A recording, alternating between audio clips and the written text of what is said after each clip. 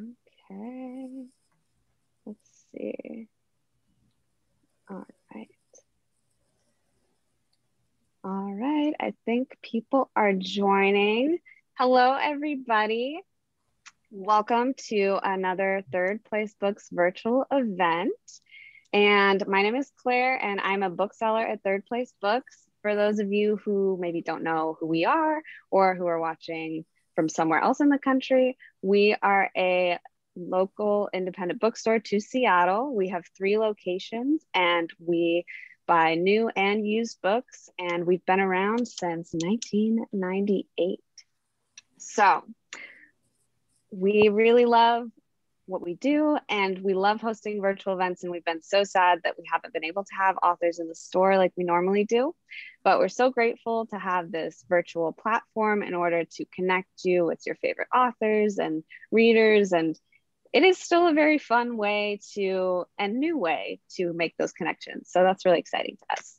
Um, well i would also like to say if you are interested in further supporting us and further supporting our wonderful authors that we have here um, i would encourage you to go ahead and hop onto our website where you can purchase both of their books if you are able um, this is just a great way to support us and to support them and read great books. And I will go ahead and be linking those in the chat throughout the event. So don't worry, don't have to rush to the website, they'll be there. And if you are interested in buying a book, I just want to say that we do still have signed copies of Switch. So if you are interested in getting one of these, I would definitely do it sooner than later.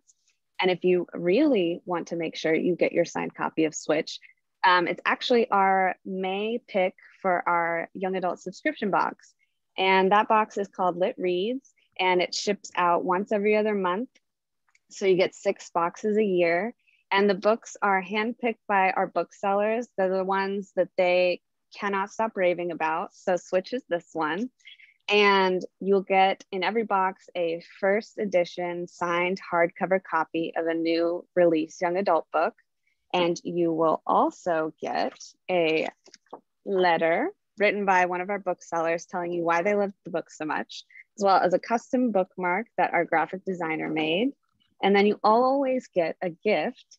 So this box's gift is a paperback copy of Dig by A.S. King. So we're really excited about this box. And if you're interested in signing up, it's something you can sign up for anytime throughout the year. And I'll go ahead and link that in the chat as well. Okay, let's see what else is on my list. Oh, yes. If you do want to make sure you don't miss events like this, go ahead and check out our website and you can sign up for our newsletter. Um, we have all kinds of cool events throughout the year, especially virtually now, only virtually now. And um, we have one coming up uh, for Rachel Griffin for her buzzworthy debut, The Nature of Witches. She'll be in conversation with Adrian Young, and that's actually her launch event on June 1st. So, yeah, definitely go ahead and sign up for our newsletter so you don't miss that. And we also are on social media. We're at Third Place Books on all the platforms. And if you want kids and young adult content exclusively, we are at Third Place Books Kids on Instagram.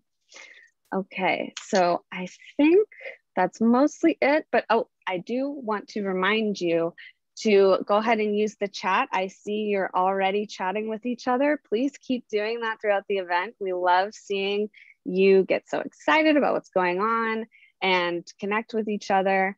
But I will say, we're gonna have a Q&A at the end of the event. And so if you have a question, go ahead and make sure to pop that in the Q&A box instead of the chat box, just so we make sure we don't miss your questions when we ask those at the end. Okay, so now we're going to introduce our wonderful authors. So first, we are so excited to host the Printz Award winning genius, A.S. King, for her new mind-bending masterpiece, Switch, um, I have personally been a fan of King since I read Dig back in 2019, and it completely and literally knocked me off my feet. And so, obviously, she's been at this a lot longer than just Dig. She's been writing incredible young adult novels for years, and the New York Times has called her one of the most important young adult writers writing today.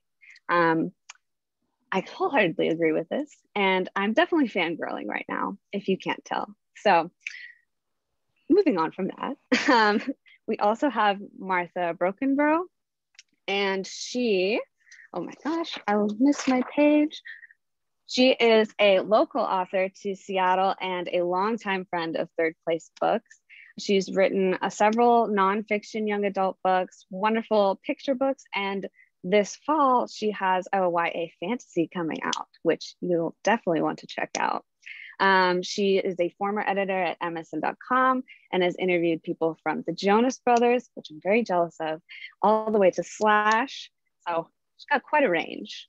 And um, her work has been published in several places, including the New York Times. So I will now invite our authors to take the stage. I'm so excited to talk about Switch and emotions and tilting houses, and I just cannot wait. Um, so don't forget to keep chatting, put your questions in the Q&A box, and I'm going to disappear now, but I'll still be around to answer any questions that you might have in the chat. So here we go. Thank you, Claire. Thank you, Claire. Thank you, Claire. Hi, Martha. Amy, I've just been fighting back tears. I'm so glad to be here. That's I don't know what emotion that is. It's complicated, but it's joy and it's sadness that we're not in person, but delight, relief. Um, I miss you so much. I put that picture on Twitter of us embracing in the Burlington airport, and I go through it every now and again. My picture. The one where you were standing on a box. the one where you were standing in the hole. that one yeah. Anyway um because we're the same height. And so um i love martha. You need to know that i love martha. And this is the thing when i decided to to talk about this book i was like what am i going to talk about? I'm like i'm going to talk about feelings.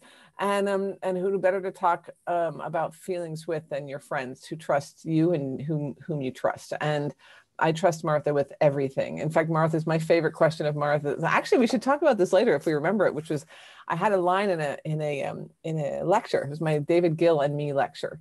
Um, and I said, I trust in an untrustworthy world. And you came up to me or texted me afterwards and said, How do you do that? How do you trust in an untrustworthy world? And we, maybe we can ask that later. But right now, I'm going to read because I keep forgetting to read. Um, so I'm going to read a little bit from this book. Those of you who've been here a few other nights, now's the time to go get a drink or whatever. I decided to bring a drink because Nic Stone told me to. No, she didn't. But um, there you go. Um, and it's later my time, so I figured whatever. I'm going to read for about five minutes just to give you an idea what the book is about. Um, so I'm going to read from Switch, which just came out on Tuesday. Um, and um, yeah, I'm just going to start and go from there. Sounds good? Sounds good. All right. Prologue one. Time stopped. The fold.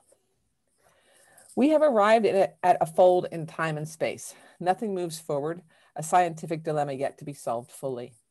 You are probably confused. We are confused too. Analog, digital, stopwatches, cell phone providers argued over the idea of fake time, decided it would be unethical, left us with our lock screen picture, no clock, no date.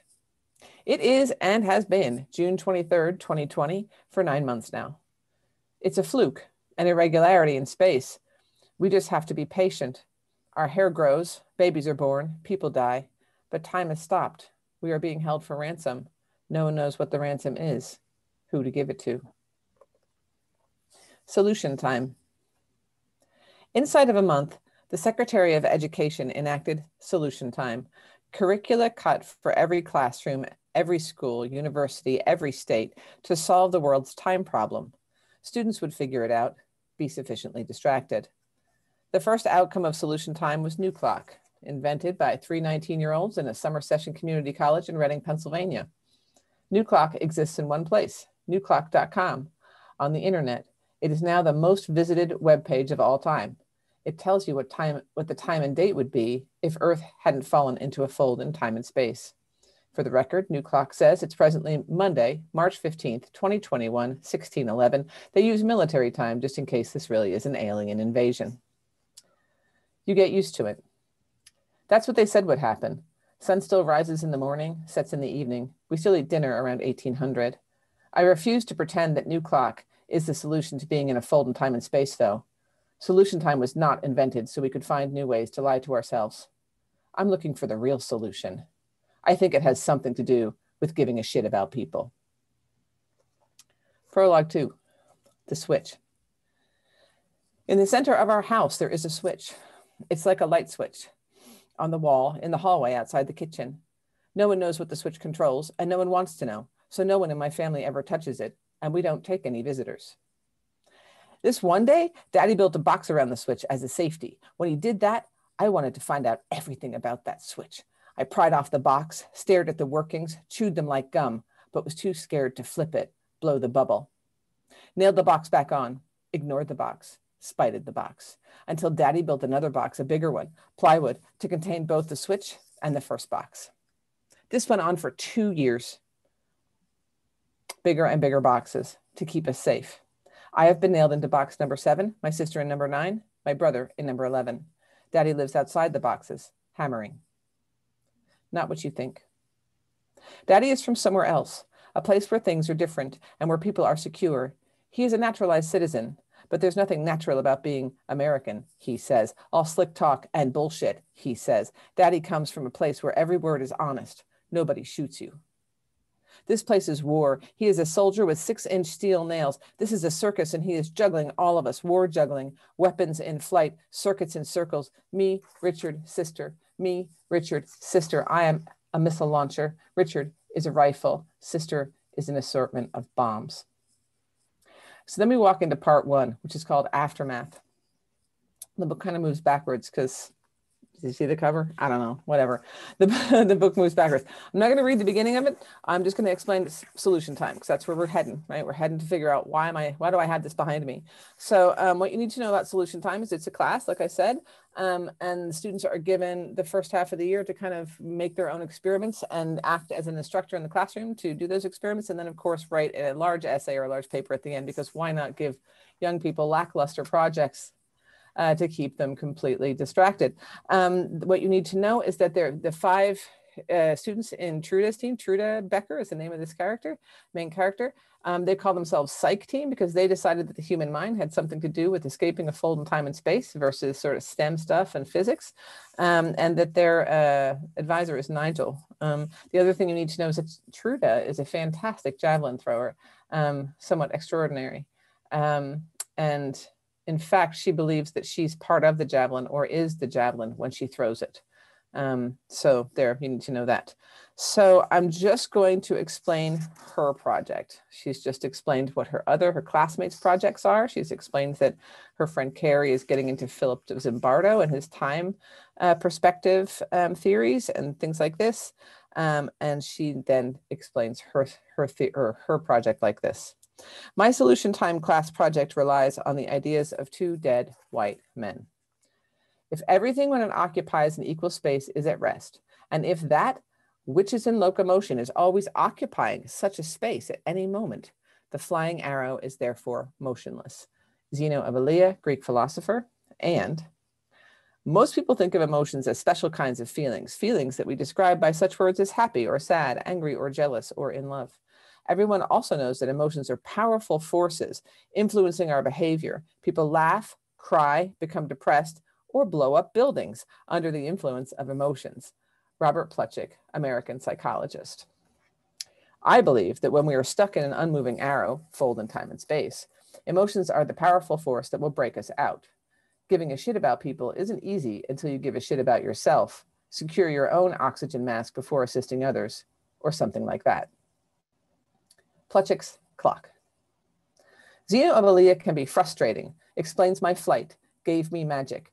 Robert Plutchik is a lot easier to understand and is probably going to save my life. I found him online the way people find boyfriends. He was a 20th century psychologist, invented the psychoevolutionary theory of basic emotions. He reckoned there were eight basic emotions that could vary in intensity and that all of them were truly primal to humans, meaning they aren't a choice, meaning they are there for a reason, just like your uvula is there so you don't spit food out your nose. He invented an emotion wheel, a rainbow flower with eight petals. The petals have emotion names, joy, trust, fear, surprise, sadness, disgust, anger, and anticipation. There's more to it than that, life saving. Plutchik threw me an understanding of everything, myself. I have made a Plutchik's clock, my invention. One hand, eight stops around the rainbow flower. Invented new time, feeling time. With eight petals, we can go around the clock three times as opposed to the old analog only two rotations. Every hour, we can focus our feelings on to one color and we can learn about ourselves and how we navigate emotions. This is half the magic. The other half lives inside Zeno's arrow, like me, in flight and motionless. The idea is that if we put ourselves in the arrow, in the here and now, we can feel what we really feel instead of pretending we don't. In my case, I will survive the aftermath by learning more about what 16 years of living with a series of explosions did to my brain, heart, by putting my answers in a javelin and then throwing it as far as I can. So that is the snippet I am reading tonight to you. Um, and so Martha, hi. Hello, Amy. Well, now, how you feeling?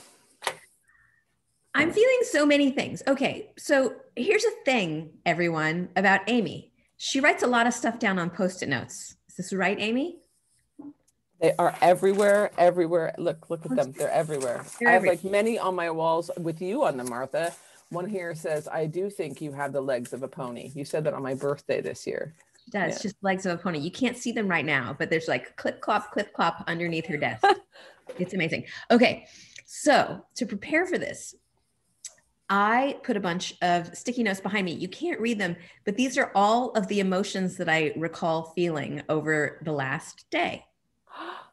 Um, I learned this exercise. Okay, I was at my college roommate's wedding. My college roommate was the executive producer of TED.com.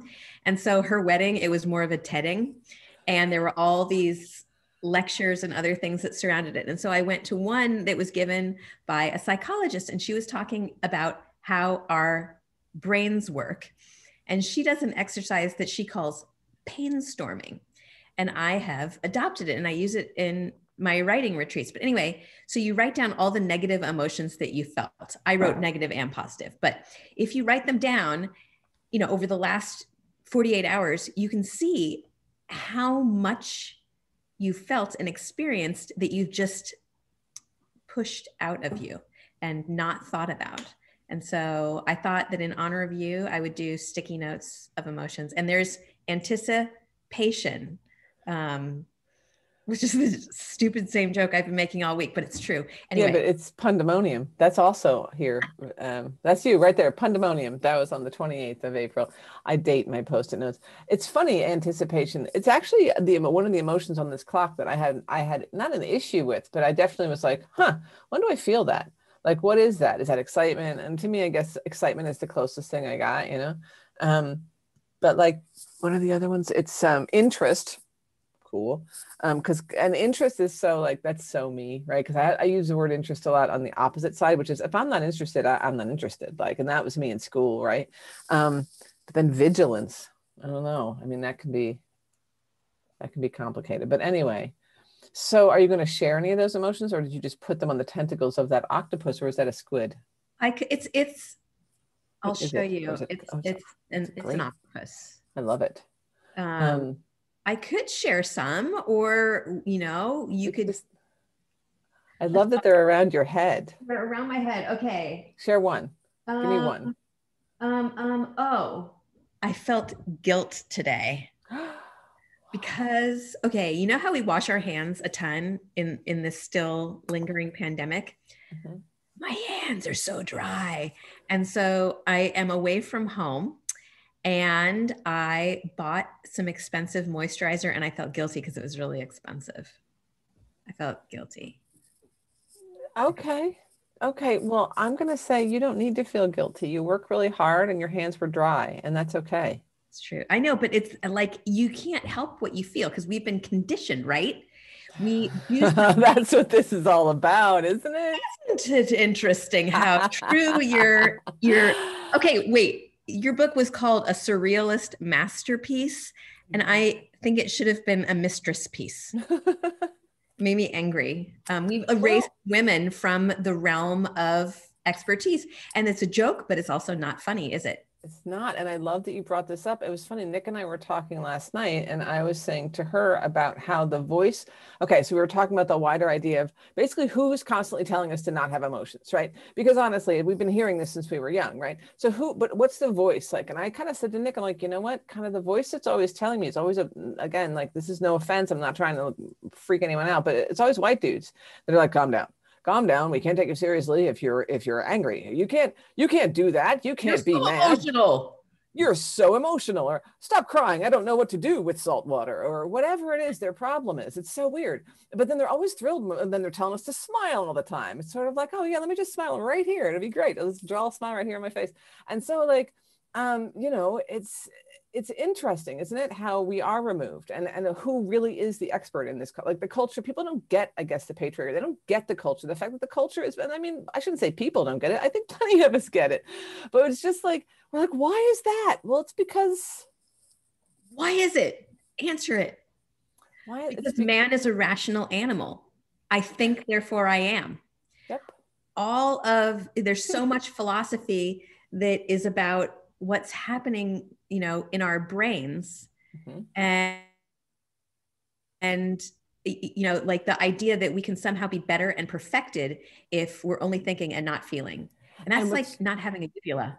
It's it is like not having a uvula. And it's funny i just caught a comment in the in the chat and and it's funny because people said this last night too and when nic and i were talking about it is that a lot of us hear it from our mothers. And we do hear it from our mothers. And i know for a fact that i know f- my i think at least this is where i think my mom wanted me to be able to survive in a man's world. And and in so because that's what this is let's be fair. This is this is we know where we live we're not dumb um, so to be able to be at that that board table the way she was in the 70s which she was the only woman there for a decade or more. Had a girl lynn. And she had to put you know put on that face. And she even when she had to like look at them and go you're doing something totally illegal like you know when they were trying to pick an employee who wasn't going to get pregnant that kind of stuff. You know she had to be like this is not a cool conversation and not be angry not be this not be that and just be like this. And so i always felt that that was part of the reason and I'm, i don't even think i thought that. I think she said it. I think she straight up said it. But i also think that that you know sometimes it's just sort of our moms want us to please who they had to please. We all have to learn how to live in this world, and this world is this world. It is. And I also think that emotions make people, the expression of emotions, we've learned to become uncomfortable around them and we've yeah. become inept. Okay. So you know this story, Amy, but I'm going to tell it. Um, Are going to tell your third grade spelling bee story? Yes. oh, okay. That goes, there goes question number four. We're good. Go ahead. Oh, well, just, uh, I'm, see, look at that. I'm wrecking just it. Go straight in. Okay. You're wrecking anything. It's good. So I was a good speller when I was a kid because I read a lot of books and um, I had won the school spelling bee. I went on to the next level and I had had a dream that I had won and it was very exciting, you know. Um, and I got up there and got my, they gave me my first word and it was an easy one, lengthen. I'm like, duh, that's easy. And I spelled it really quickly. And you know how in the alphabet G and H are next to each other? They are not next to each other in lengthen. And so I heard the little ding. And the first emotion I felt was shock like, what? I didn't spell that wrong. And I did. I just, you know, I got it wrong. And it was stupid. It was an easy word. It was an embarrassing word. It was not even a cool word to get out. I was beside myself. My principal, school principal, had come to watch. Were you 10? You were nine? What were you? Nine. And she'd come to watch. And um, I was weeping and I leaned into her and she told me, You need to get more control over your emotions. Um, it was not, Hey, you know, you tried, you still have more chances. I'm proud of you. It was, I had gotten out and then I had failed by showing the absolute sadness. Um, here's another story. When I was really tiny, um, if someone just said my name in a stern way, I would cry and my parents thought it was hilarious. And they took super 8 movies of me and it's silent. It's just the tick tick tick tick tick tick tick of the film and then me going from happy to extremely sad. And anyway that is how sensitive i am and to be in this world and told that the emotions are the thing that is wrong with me, I mean, ouch, it's really hard. Tell me what your teacher did the next day when you came in from the spelling bee. Okay, so my teacher, um, the so that was the principal that said that, that to you. Principal, um, who told me I needed to get a handle on my emotions. My teacher, um, who I actually had two years in elementary school, um, she brought ice cream bars for the whole class and said that she was so proud of me. And it made me feel so good. You know, like here I tried and I, because of my efforts, everybody gets ice cream because that's the world I want to live in. Like if I work hard, everybody gets ice cream, right? Yep. Yep. And I mean, someone has said in the, in, it was Libby of all people, I think it was, yes, shame pisses me off too. And yet shame, this is the thing, this is this, when I go into schools, right. I don't like, I, I do a pretty wide, um, a pretty wide presentation, but really all I'm like, I'm all I'm doing is kind of hitting from every facet, every angle I can, trying to tell everyone in that, in that room, don't let shame trip you up. Don't let your trauma, the shame from your trauma, right? Like, don't let any of this trip you up. In fact, face it, feel it, you know, move through it, understand that we all make mistakes and, and just trying to get people like, like to, to try and talk to people about making mistakes it blows my mind. I'm like, hold on. Like I always say, like on stage, if I'm not making 10 mistakes a day, I'm not living. Look, I'm not that proud of my mistakes. You know, I made a few today and um, I hope, I hope to rectify those in the future. But like there are people who really still get wound up about like simple mistakes. And I always, I tell a story about my ex-husband breaking at my favorite glass. And I, I had no idea. I just noticed it wasn't around. And I was like, hey man, where's that? This is years ago now. Where's that glass? And it was, it broke that was the answer. It broke. I'm like, spontaneously?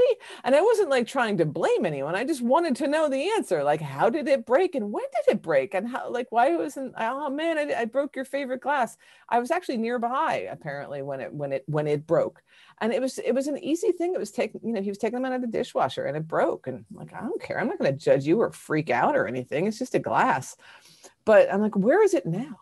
He's like, oh, wrapped up in a box in the, in the recycling. I'm like, you hit it? you know, or whatever. It's just sort of like, but that's a 50 year old man at that time, you know, like I like to, to be that crippled by shame and to be that, that upset by making a mistake or, or by breaking something, which is funny. Cause on the other side, talk about the other side of it, like anger or rage recently, and this, you'll see this in a book I'm writing, you know, recently I was like, Hey, what happened to my favorite mug from that, you know, the only mug I'll ever get from the Los Angeles Times Festival of Books the year I won it um, and it was like, oh, I smashed it. And I say, because I'm all innocent and, and normal, I say, oh, was it by accident, like coming out of the dishwasher? He said, no, on purpose. And I was like, okay. And I just let it fly. And, and here I am. Um, but it's funny, isn't it? How we, how we, how we do things. It's funny how we do things because of shame. It's funny how we hide and run and how we have to know everything. Well, it's the shame just i mean i'm, I'm looking at the comments and you know people are responding to this and and understand because everyone's felt this. And you know we do something wrong we're somehow embarrassed or we think there's you know something insufficient about us and then we feel shame about it. So it's almost as though the emotional layers we build around things are like plywood boxes of a sort.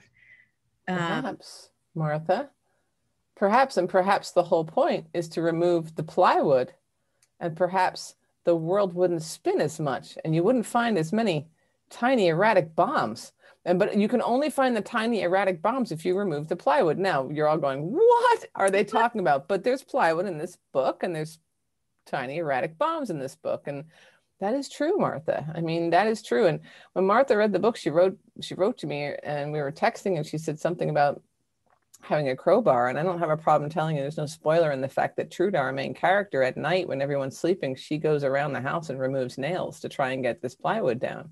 And every day there's more nails than she needs to, you know, there's more nails than she can ever remove. Um, and in a way, sometimes, you know, especially with this book, I think I wrote this book blindly. I wrote this book. It took a long time. I had to write it a few times. It's the first book I, I wrote since since I lost my daughter, Gracie.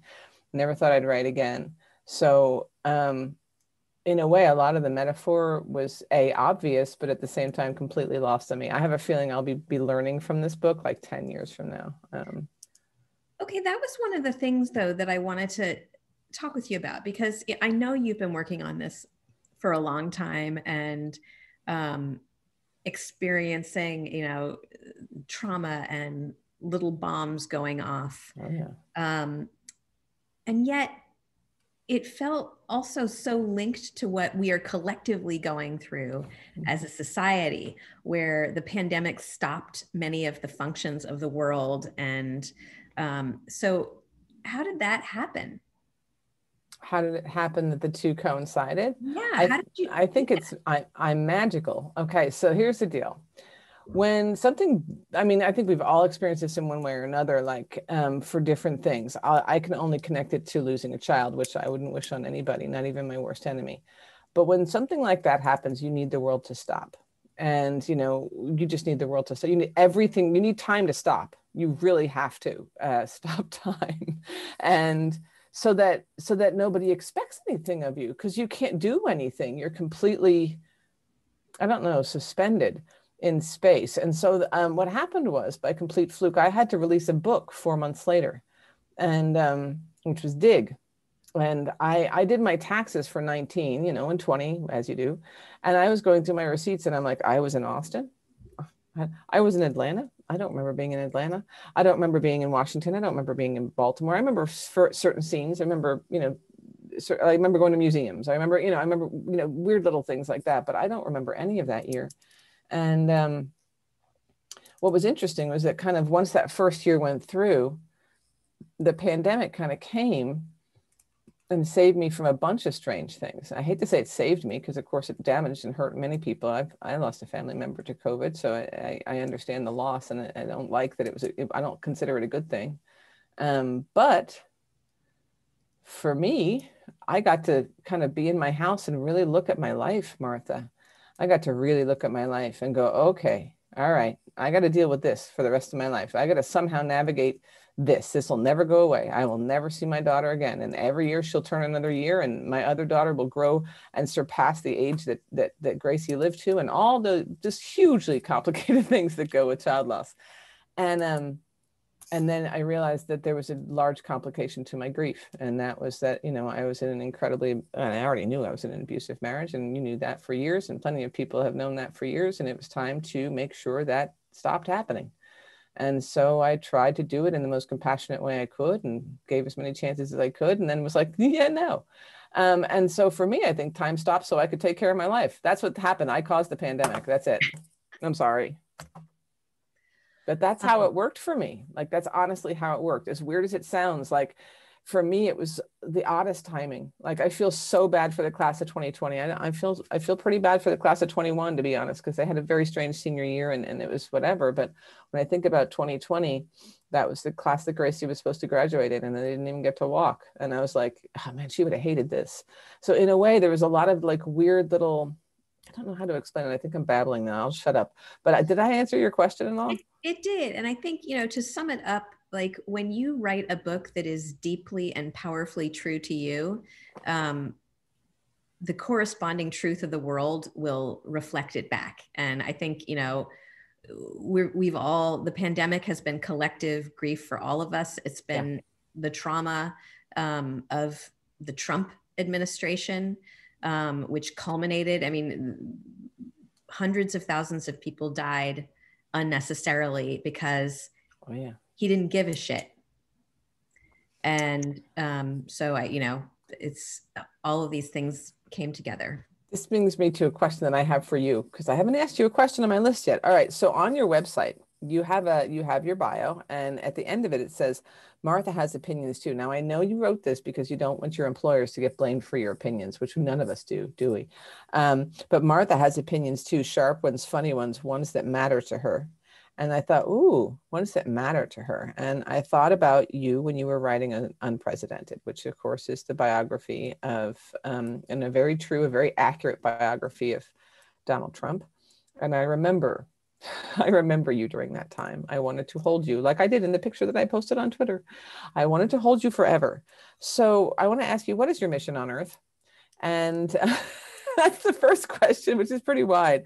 What is your mission on earth when it comes to your opinions, your sharp, funny opinions? Um, I know you've always been politically motivated or politically minded. Um, and so I wanted to know, um, I wanted to know if if your anger from that time, and I know that we all, I, I can say we all, but I think that I can pretty much say we're probably all pretty like-minded here tonight. Um, that if our anger, if that anger turned into anything incredibly useful to you, I will quote um, Nic Stone from last night: "The root of your anger um, can lead to compassion." And I want to know if that happened to you. Um, you know, for me, it's been incredibly clarifying. And so, you know, I do know why I'm here, and it is to um, it is to to love ferociously, and by that, I, I don't that. mean um, you know just there, there, bunny, it will be okay, and have some cocoa. No, it's to um, see where there is injustice, see where there is um, unnecessary pain, and do what I can to alleviate it and um, to tell the truth in the process. I mean, I think about the books that I've written and telling the truth is, I mean, I did it with Santa. yes, you um, did. And you saved also, my butt last year. Thank you. um, and with Trump. And so I, you know, th- that is my way of loving ferociously. Oh, you know, you made me cry. So this is the first time I actually had some tears on the tour of the emotions because to love ferociously is a big deal to me. And again, like there's one thing I had a lot of uh, I, I, constantly am saying to young people, you know, uh, even more than I ever did before after losing Gracie, is you got to live the shit out of your life, live the hell out of your life, live it like it's on fire. And that's what I'm doing. People like, how are you not on the road face down? I'm like, I'm doing this for Gracie. Every book I, every book I write now, and this is, I mean, Gracie's one of her last things that she, that she really wanted to do in the last week of her life was, she was discussing talking about emotions with um, kindergarten to, through second grade, you know, mostly really young kids and trying to invent an initiative. And she left me a little post-it note. And, and, and the funny thing is, number one on the post-it note was kill gender roles, which I thought was amazing for a first, you know, that's how you were going to start by getting pe- people to emote was to kill gender roles because she, and it says boys and girls can have feelings, you know, and I think that was number three. But um, for me, I mean, that's not why I wrote this, you know, in a way like this is just, I don't know what happened. But for me, living and loving ferociously is absolutely paramount and it's very important to me. Um, let's see. Um, I already asked you what your mission on Earth was, and you already took the third grade spelling bee questions for me. Oh, let's talk about emotions. That okay, we've already talked about. Okay, I'm gonna tell you a story, and this is no offense at all. Okay, and but I wonder how many other people have. I don't listen to as many audiobooks as a lot of other people out there, but um, since my first audiobook was made, which is Please Ignore Vera Dietz, um, the first time I, I I'd never I didn't know what to do. They were just like, we're making an audiobook. And I'm like, that's awesome. And that was about it. Right. And then I got some and some copies and i decided i would listen i would I'd actually tomorrow is the rochester teen book festival and i, I would drive up every year and I, I would wish i could drive up this year but it's online this year um, so if you're interested go to my sites and you can find the links um, but anyway i was driving to rochester five hours up five hours back 10 hours perfect audiobook time right so I decided I would listen to Please Ignore Vera Dietz, which is weird. I don't usually read my books um, after I publish them. Anyway, the voice that was put on by an adult woman to read Vera's voice was like a teen girl, you know, like she was like a teen girl and she was like this about things. And it was just like, uh. And I was like, wait, what? Because this is what Vera Dietz sounds like right up in here. This is Vera Dietz. This is the same person that delivered pizza. This is the same person that got has got this lump from the skinhead. I still have it. All those stories that Vera went through, that's me. And she sounds like this, not like this, like always whining and like this is what girls sound like. And I'm like, why do girls sound like that? So what happened was the next time I sold an audiobook, I said, Hey, can I talk to the producer and I said, "Hi, how you doing? Do you hear me right here? You hear this voice right here? This is what my characters sound like." And we've we've formed a beautiful relationship, and I love my producer. And now he lets me read my books, which is really cool. Um, but why do we assume emotions? Why do we assume that girls are always depressed or seeking seeking drama or what like what is it like can you think of any other assumed emotions how does that make you feel how does how often does that happen to you? Is it constant? So my thinking on emotions is this: that the rational has been assigned masculine, the emotional has been assigned feminine, True. and so um, we can, because we live in a misogynistic patriarchy, um, and I won't even get into the other problems, but you know that's what we're talking about here. Um, everything that is emotional is feminine and is therefore subordinate, and so it's all it's all meant to um, insult and demean. But this connects to teenagers. And this is one of the people somebody asked me a long time ago like maybe i don't know back of early books. And i said i connect to teenagers because i'm a woman. And they were like what? I'm like none of us are taken seriously. Because emotions are bad then right? You know um reason is good. So reason is here and emotions are bad. And I can be rational. I'm one of the most rational people I know. I'm also one of the most emotional people I know. So I don't know about most. I mean, I've got the whole Vulcan thing going on. You're a Vulcan um, with a heart of kryptonite or whatever. whatever, whatever works. But um, but that's the thing, you know. So I always say, you know, people are like, why do you write for teens? And now they often ask that in the judgmental tone. And I go, because they're smarter than you. And then then they go, what? And then I go, no, I said, I write for teens because are, you know, why are you asking that question? And why do you have that look on your face? And why, why with the tone? Like, why don't you respect teenagers? And they're like, well, you know, ooh. and I'm like, no, I don't understand why you don't understand why, why you don't respect teenagers. And a lot of times it's because they have emotions. And then we also were, I mean, we are collectively asked to bully teenagers in this culture. Um, we're supposed to bully everything they like. So I'm, I'm a little behind right now. So I'll say K-pop instead of Justin Bieber, because that's a little old, but um, you know, we're supposed to look at um, you know Billie Eilish and go, oh, she just looks so blah blah blah, and she's so emotional, she's always so depressed, or whatever it is we're supposed to say about these people that teenagers like, but especially teenage girls. Um, you know, although I'm sure there's plenty to be said about Fortnite, but um, we'll leave that to Leonard. Um, but um, but like i don't know. It's it's interesting because women are the same. Oh they're emotional. Don't listen to them oh teenagers ah oh, don't listen to them they know everything. You know it's so strange like it? a middle school girl is an insult. Oh yeah. Why should that be an insult? You know i i love middle school girls and i love teenagers and i it just um when i see it on twitter i'm like don't be a misogynist. Um I, you know I, I I get really mad because um, it is just a throwaway insult and it's totally unacceptable and it leads to shame wherever it is on the octopus because well, it also it leads to shame but it also and honestly it leads straight to violence against women. It leads to violence against against teenage girls. It, it leads to like somebody today and i wrote a poem about it. Somebody today told me um, and i don't have it in front of me but they they said something like um, authentic and what did they say? Hold on. Oh it's not open anymore. Damn it. Um, they said oh i never thought you'd end up in that situation i.e you know domestic violence um, because you're such an authentic and something person. And i was like yeah strong authentic women that's a prize. That's the candy. That's the whipped cream. You want whipped cream on that oreo shake? Oh hell yeah that's me.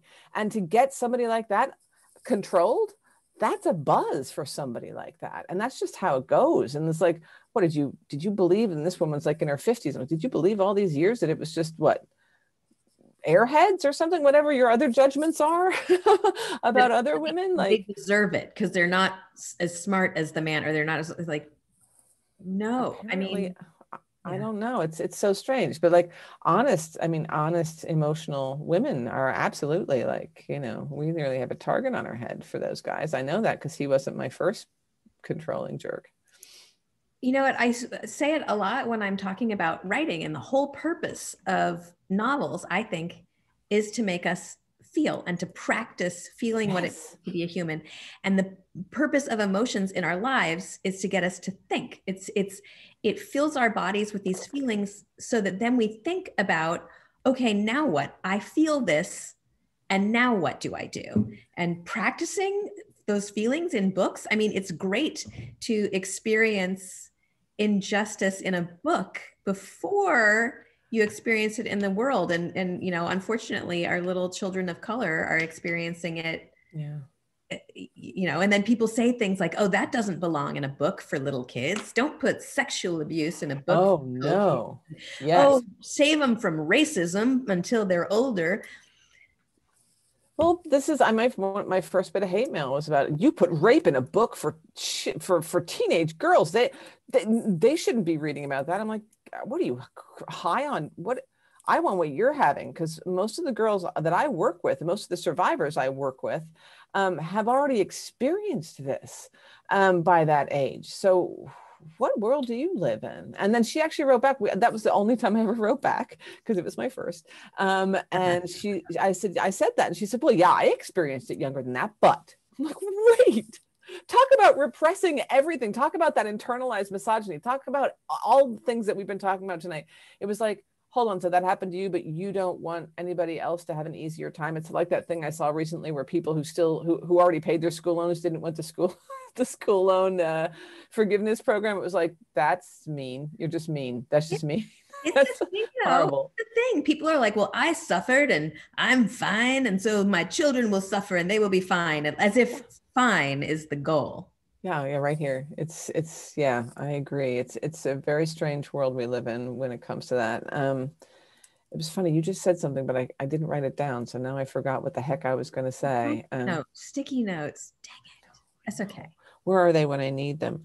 Um, oh yeah, so I would know you were talking about uh, yes, you were talking about I was talking about emotions assumed of women and girls, and we're talking about that, and you were talking about um, young children of color and watching what's going on around us. And if we don't, if we put that in a book, that's that's bad. No, I tried to trace it and it didn't work. You see how I traced it? I chased it's, it hard. It's an octopus. You did great, Amy. You really, really did. hey, thanks. Um, I wanted to ask you a question. What does it mean to give a shit about the world? What does that mean to you? It look like? It means it means to, well, trusting in an untrustworthy world again, Martha. We get back to the question you asked me uh, many years ago. Um, it's um, it means to be vulnerable enough to put yourself out there, even if you are going to get shit thrown at you and that's one of the things like people be like you know like part of me wants to be able to regret my whole life because of what i threw away since i was 23 years old you know with this with this person who didn't know how to live right or treat me well. But i didn't throw away my whole life. In fact you know what happened? I got a cast on my arm in 1994 and so i couldn't write my grandfather letters from ireland anymore. And so my sister-in-law loaned me her typewriter. And so there was a typewriter on my desk and there was some paper. And one day I decided with my broken hand that I was I couldn't take it anymore. I it only at that point it was two years, and I've been reading the journals from those two years, and, and the years I didn't have a lot of them. I stopped journaling. It got so depressing. My life got so shitty. I stopped journaling for 20 years. That says a lot for a woman who journals as much as I do. But um, I started writing novels, and so and that's trusting in an untrustworthy world too right? Because you throw them out there you're like here people can go eh, this wasn't as good as it could have been. I'm like nothing's as good as it could have been. Like, like that's not a good way to say it. But um then i stopped looking at reviews and that's cool. But like um that's what I did with my emotions. That's what I did with my pain. It's what I did with all the emotions I wasn't allowed to have because those were named. If they were negative, I wasn't allowed to have them. No crying, or that's just you trying to seek attention. And that's like a 40, like this is a person. I'm a, I'm a full grown person. I'm not even 12. Not to say a 12 year old isn't a person, they are. But just sort of, that's what I ended up with. What a cool thing. You can, you know, it's, it's that classic turn lemons into lemonade thing, which is funny because that's the same crap we heard um, from the principle after we spell lengthen incorrectly, but it is what I did. I just I went in and I the first manuscript I wrote was frenzied. If you saw it, it, would it would drive you crazy. It goes right off the end of the pages. It's single space right to the edges on this onion skin legal size paper. I was I was I was channeling hell onto this page and um, and then it got better and better and better and it took me eight novels to get to get to actually writing a proper novel but that's um i forget what the question was but that's what i ended up doing. And so what does it mean right to give a shit?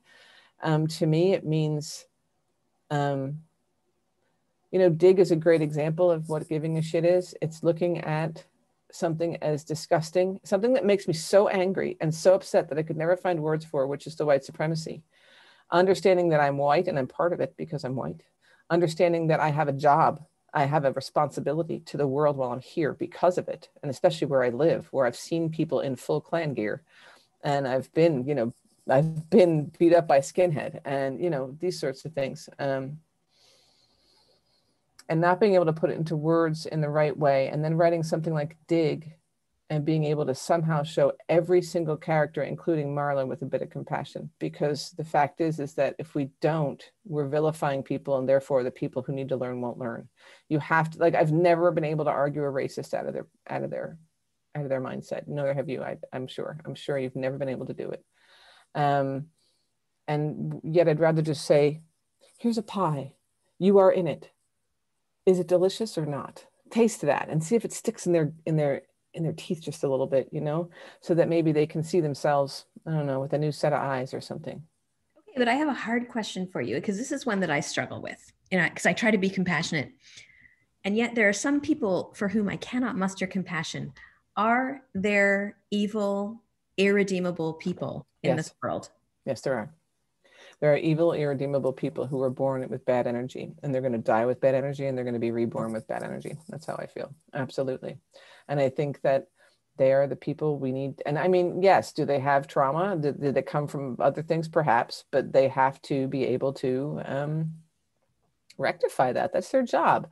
Their job is to get better. And if they don't get better then they're just going to keep causing pain. Um, and that's a shame but i can't but yeah i believe that there are martha and a lot of it it's funny i, I have i'm going to use believe i'm going to start a sentence with this but my shaman there you go. My shaman and i were having a conversation a few months ago and she just threw out she's like i can't wait till this this age of narcissism is gone. And i said whoa back up what um, because narcissism, you know, it's an interesting, it's an interesting study, um, and there's a little bit of conversation about, well, at least echoism in this book, which if narcissism isn't mentioned for good reason, um, because it shouldn't be, because it's usually invisible, um, and we try and pretend that it doesn't isn't there. But I said, what do you mean? And she's like, oh no, it's the age of narcissism, and I was like, are you using that like like the way that people use like selfies on Instagram narcissism. She's like, no, I'm actually talking about like legit narcissism is people who just have no empathy and are just whatever. And I'm like, you know, I, and I haven't, I've yet to look up what she meant. Like I've yet to look up this age of narcissism, but I think she's just, she's so used to being inside this beautiful spiritual realm that she's just sick of coming up against evil energy or, or, or bad energy, I should say, or dark energy um, and that is where that's where she that's where she stood anyway. So i do think that there are people in the world who are i don't know about irredeemable but they're certainly they're not going to be okay and they're not going to get better and they are going to cause other people pain martha. And that's just where they're that's just where it's at. And it sucks but there you go. And the rest of us have to just learn how to boundaries boundaries. But not plywood walls. Not plywood walls. That's on our hearts. We got to keep our heart open for so that we can embrace people like you if i can embrace people like you because otherwise i just cut my whole self off. That's no good. And i've been hurt and hurt and hurt and hurt. I mean i've been hurt and hurt and hurt and hurt some more. And uh, i would if i if i closed my heart off i wouldn't i wouldn't have you as a, as a beautiful friend. Um, and so many of the people who are here tonight as as beautiful friends like so i plan on staying open and staying bright and staying light. And you know for me i also say i always say it this way if people do bad on me they're the ones who have to live with that not me you want to hurt me of all people come on now you know i'd cut my leg off and give it to you you know what i'm saying i would be like you need a leg pony's leg I, yes, I do have legs like a pony. So um, I would give you that leg uh, should you need it. And um, and that's the kind of person I am. So it's just sort of like, oh, you're gonna hurt me? That's definitely on you, buddy. You know, that's how it works. So yeah, I don't know. It's the best I got. I don't. I, I, it's the best I got. wonderful and i love you I love you. and too. claire's here I know she's got questions for us. Hi, What's up, everyone. This has been so wonderful. Let me just say, I've already cried like twice. I think a couple people have in the chat too. So I just want to keep this going with like a few more questions. Um, so the first one I want to start with is from Joe. Um, and they want to know how did witnessing and living through the pandemic affect your writing process and themes, if at all? And do you think those changes or themes will stick with you going forward? All right, Martha, you answer that one first because we're that's open. So I'm just gonna I'm gonna ask you what you think. How how did the pandemic shape your um, writing? You know, I think it kind of capped off a, a unit of study that I began in the Trump administration. Um, there are people who lie and spread lies and don't care enough about others um, to take care of the health. And, um, you know, we've gone from medical workers wearing garbage bags and not having um, personal protective equipment to you know more than 500000 people dead. Um, and so i've had to recalibrate some of my optimism. I have not closed off my heart but um, the work that i do because i want to tell the truth to children must include the truth that there are some people um, who refuse to care. And and that is awesome. Yes. And that's kind of it's funny because there's there's a bit of that in this in the switch in this book. And what's interesting is that for the for me the pandemic at least toward the end of it now right? Because it, it showed me what it showed me. It said hey look at the food you're eating. It's rotten. Stop eating the rotten food. Go for the good food right? That was a big metaphor because i don't eat rotten food but you know what i'm saying. And so i've come to this other place where like the idea of love is totally even bigger than it was before. And I was a big love muffin to begin with, right? But now it's like, like I have this is my next YA book, right? I don't mind showing this to you guys because it means nothing to you, but it means everything to me. And Martha has seen it before. It's a hamster tube with a chair in it, and um, but you see this little thing down the bottom. I added this, and it has a little heart in it because I realized there could be a subplot, and the subplot could involve love. And I think that what happened was for me until this pandemic, I had my heart all closed. My heart was enclosed in plywood because it had to be because I lived with a dangerous person, and now I um, I don't, and so now I took the crowbar to it. So that's that's what the pandemic did for me, and I don't remember the rest of the extra questions there, but that's I think that's a good answer. what else do you have, Claire? um, the next one is I think just in tone with how like personal and like deep this conversation has been. And Olivia would like to know if either of you have any tips for outreach and advocacy in fairly like rural areas. Well, I'm fairly fairly rural. Um, outreach or advocacy. Well, I mean, you gotta you gotta find it where you find it, right? I mean, I I was I, my local city when I was living up in in well Reading, Pennsylvania, where they invented New Clock. Um, but when I was living out there, um, my best friend since I was very young started uh, the local V Day chapter, right? So Ensler's V Day. Um, so we did the vagina monologues and went through that. You know, I was able to find I worked with a lot of survivors. Um, I know, and I have a group of group of we call them the vaginas. We're all vaginas. when you're on the show, it's all the vaginas are coming or they're not. Um, but uh, it's a strange verb to choose for that sentence. But we're both leaving it go, Martha, which is fantastic. Anyway, so I guess I didn't leave it alone, but that's okay. Um, Never do. I, stop. I should never pun with you. You're so punny. Okay anyway, advocacy, there's that.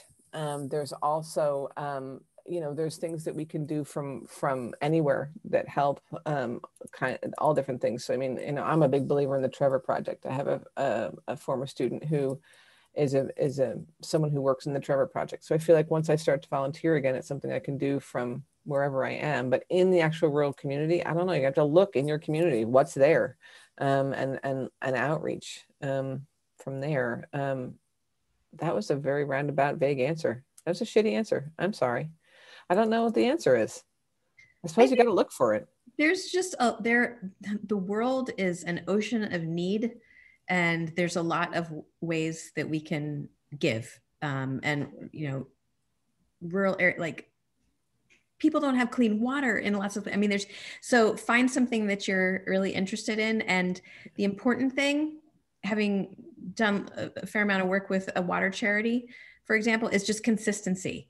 You know, if you do five dollars a month forever, it ends out, you know, up being a, a big deal, or you know, just whatever you do. I mean, in my neighborhood in Seattle, there is a man who lives in a bus shelter, and so the neighbors we just use next door and we gather up money and we ask him what he needs and we give it to him. And so there's, you know, there just just look and yeah. you will see. Yeah, I'll I'll say one thing for the pandemic. Um, um, when it came to the food, the the free and reduced lunch, but free lunch through our school, that was that was the one thing I found was unbelievable. When I looked at, at what our our superintendent was there, and she was giving out food every day. She was the one handing out like all those those admins where they're doing that. So I mean, there's definitely um, things that we that can be done through school districts and things like that as well. So Great question. What else you got, Claire? Okay, I think this might be our final one. Okay. It's a bit of a more fun one.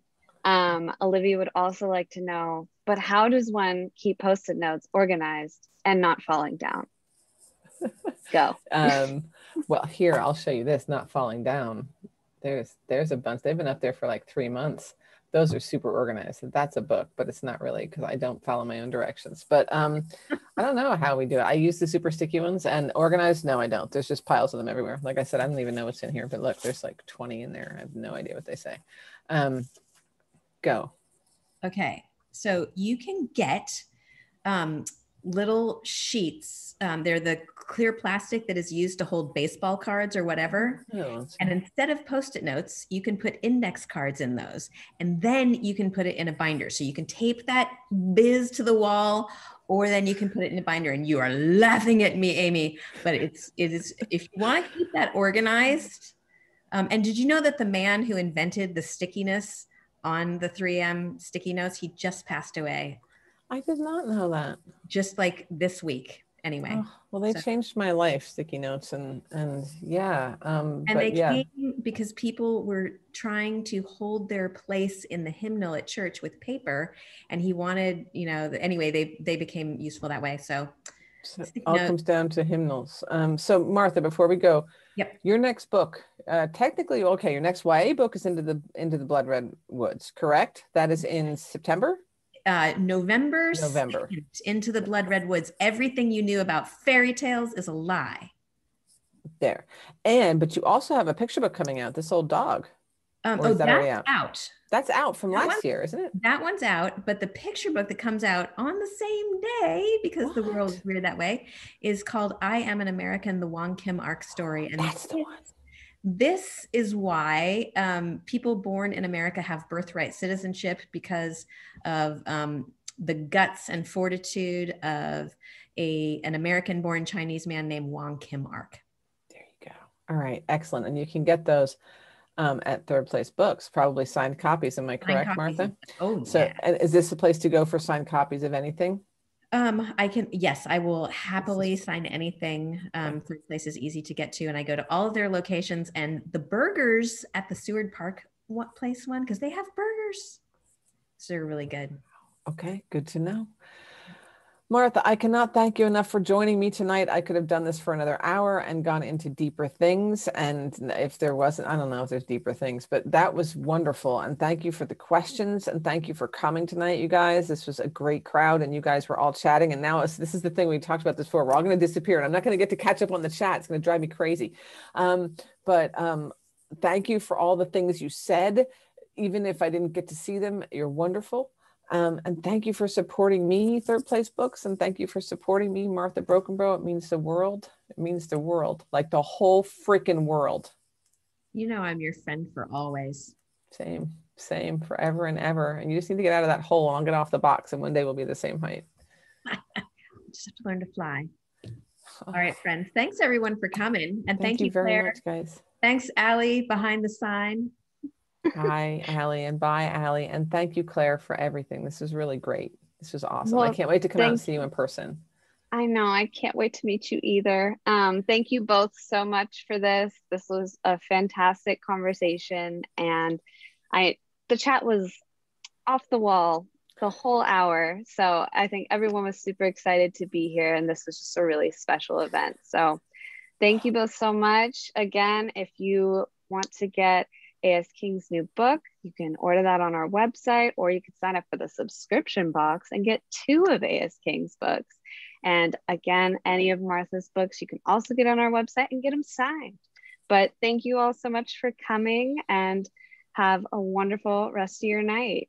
Thank, Thank you. you. Bye. Bye, everybody. It was really great to see Yeah. you. Bye.